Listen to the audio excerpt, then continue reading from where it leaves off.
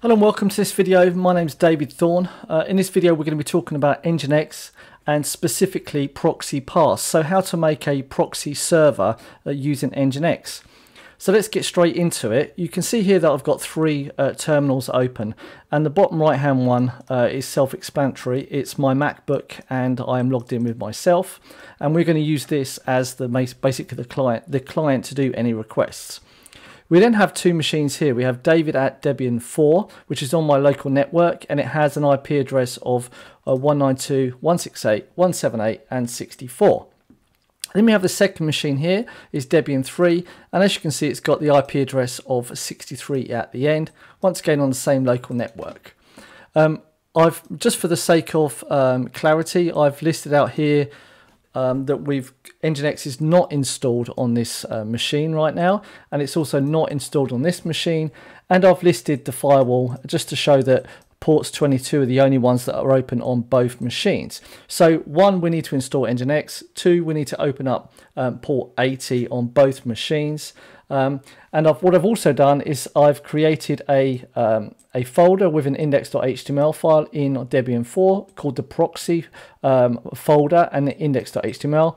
And in the other, I've got target with index.html and it says hello from Debian 3 and the IP address and this one says hello from Debian 4 and the IP address and the aim that we're going to do is basically this and I'm going to show you is we're going to send a request to Debian um, 4 and we we want to receive initially this message back all right but once we've finished setting up the proxy pass, we want to send the same request, but we want to receive this message back. And that's without sending a message um, by ourselves to Debian 3. So we want this machine to proxy our, our request directly onto this machine. Um, and that's what we're going to do. Okay, so without any further ado, let's get started. First thing to do on Debian 4 is install uh, Nginx. Let's just do this. And whilst we're doing that, we can run the same command on the other machine as well. And just to show you that it's installed, we can see Nginx is now installed and run the same uh, command on, on the others. And now we can see that Nginx is installed on both machines. With that said, we now know that by default Nginx is running. Okay, so now if we run a curl request to uh, Debian 4, we still don't, still don't get anything. That's because we have to open up the firewall um, at port 80. So let's go ahead and do that now. So we just say sudo ufw and we want to allow uh, port 80 using a TCP. And we do that and we look at it again. We now see port 80 is open and we can notice that we get welcome to Nginx uh, on on the machine underneath it. So we now know that request is going through and coming back uh, once again, right?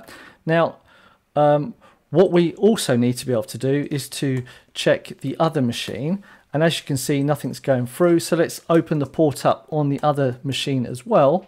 And on this one, we'll say uh, allow uh, port 8080 and we'll say uh, TCP and let's have a look at uh, the results. As we can see, port 8080 is open. So if we, we run this command, we see we still don't get anything because the port is not open.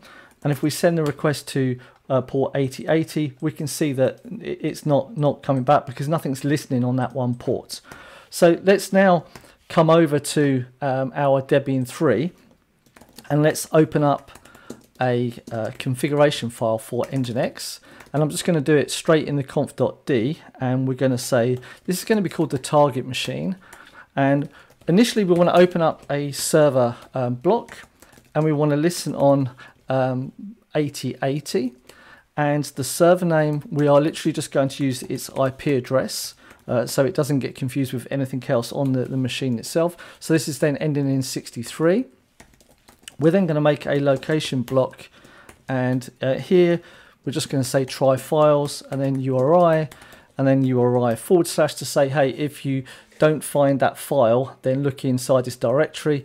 And just to be clear, we're going to be using a an index of index.html. So this is saying, hey, uh, if index.html exists, then use that. Else if whatever that request is coming through is a, a directory then look in that directory and see if there's an index.html here. And if not then let's just give a 404 and we're also going to put the root directory was uh, var www um, forward slash then um, target and, and, this is all perfectly fine now. This will work. So we're listening on port um, 8080 um, and we're only listening on the server name of 192.168.178.63. So localhost will not work here only when this IP address has been used. It's looking for an index.html in the target directory, and we are basically uh, done, done there. And from here, we can test that Nginx is all happy, which it is, and we can reload this once again, and we can send the message, and now you can see uh, on port 8080 we get hello from Debian 3 which is not what we want. We want to be able to go through port uh, Debian 4 but we've now set this one up. So let's now go and exactly the same thing on on uh, Debian 4 and uh, we're going to put it under the conf directory again and we're going to say um, proxy.conf and this one we're literally copying exactly the same text that we've done before um, and this one's going to listen on uh, port 80. And the server name we're going to use is, once again, it's uh, our uh, its IP address, and which is going to be 192.168.178.64. Um, but this time, we don't really care about any indexes. But um, for the sake of clarity, to show you um, which steps we're going through, we're going to copy exactly the same from before. And, uh, and then we're going to add the proxy pass. So we now want to say try files once again and URI. And this is if we just wanted to send the request as per normal to um, this one server. And we're then going to say uh, root is var ww and this is then uh, proxy here. So let's save this. Let's say to Nginx, are you happy? It says I'm happy. So now we can use Nginx-S reload to reload it. And we can come to um, my MacBook terminal now and send the request. And you can see we get hello from Debian 4 with the IP address, which is super awesome. And uh, we now do 63 once again and we get nothing while on that one port, but we do 180, oh sorry, 80, 80, and we go to Debian 3. Okay, we've now got both servers up and running, and the final bit is now to do the proxy. So let's just um, play around with this. If we say location, and let's say API, for example, and from here, we're going to say proxy, whoops, proxy pass. And this is going then going to go HTTP and we're going to go 192.168.178.63 uh, and then do a forward slash. And we're going to save this and then come ask Nginx, are you happy? And it is still happy. And then we're going to do this. And now we're going to come to our terminal once again. We're going to send the curl request once again, all right, as per port 80, and nothing changes. However, if we put this on it, we now get uh, we now we now get nothing, which is correct because we didn't put the port in. Uh, we didn't we didn't put the port uh, in there. So this was all running correctly. We need to put the port in in here. Okay, so it was sending a request on port 80, uh, which I forgot to do. And now if we send this request once again, we get hello from Debian 4.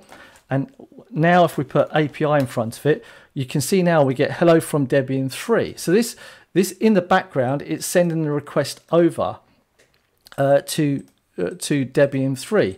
Now what we can do, just to really show you how crazy this is, if we open up uh, the, the one file that we've got over here, and now we come back here and, uh, whoops,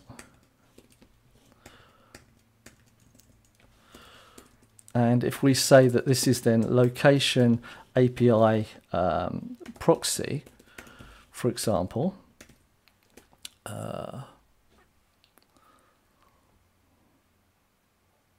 yeah, okay, this this will work.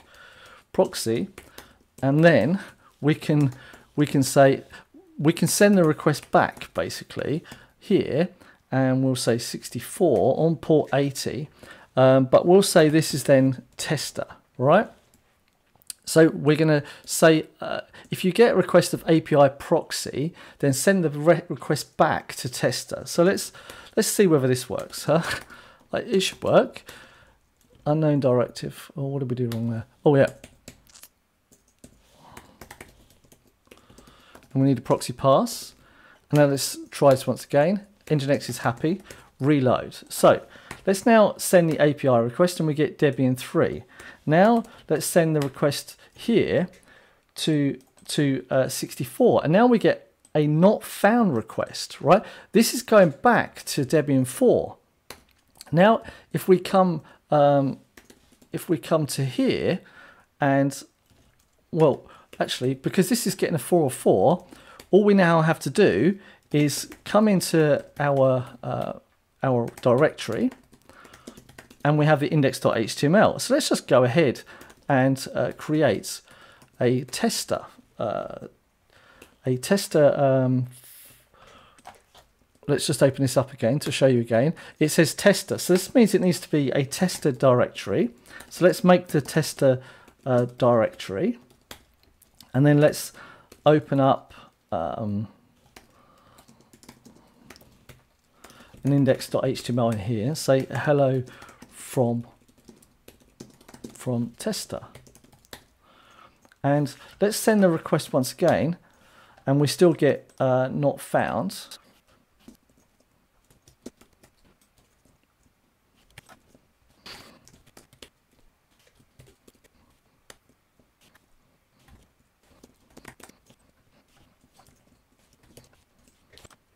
Okay, with a little bit of messing around and a little bit of editing uh, power, uh, I now found the problem. Um, yeah, basically we just added uh, a forward slash onto here, which then meant it added another forward slash on the other end, uh, which is why uh, it, it, couldn't find the file. So this is the, actually the correct one. It shouldn't have had a forward slash uh, on the end.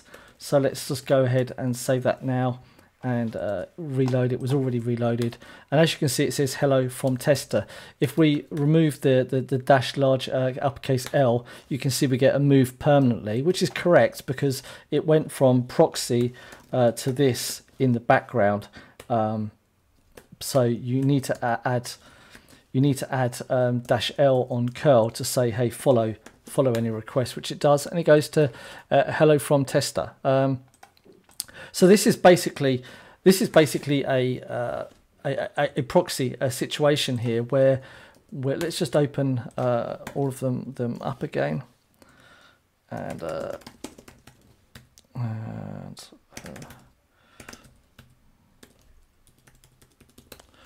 Yeah, this is basically the, the, the proxy uh, working at its best. Now, there are many, many other things that you can do to configure this. This is really just a basic introduction of uh, what proxies do. Uh, whether you want to use it like this is, is down to you, but I just wanted to show you that you can, uh, with Nginx, you can ping backwards and forwards um, from different servers, um, yeah, without the user really actually knowing what's going on. And there is so much more that you can do with this, so, so, so much more. But I just wanted to give you a brief introduction to what you can actually do um, with proxy passes with literally no other configurations. We have only used proxy pass and there's loads other other parameters and all sorts of stuff that you can do with this. Okay, but I hope you've got something out this video and I hope you've also seen that people do make mistakes and with a little bit of debugging and knowing what you're doing uh, you can find out um, using the logs the access logs the uh, access logs and the error logs and so on to know what is going on. And with a little bit of experience it makes it a little bit better with that said, thank you very much for watching and I'll uh, see you in the next video. If you do have any questions, pop them in the comments below. And if you have any other ideas, uh, then uh, let me know and I'll, I'll think about making a video. Thanks then. See you later. Bye-bye.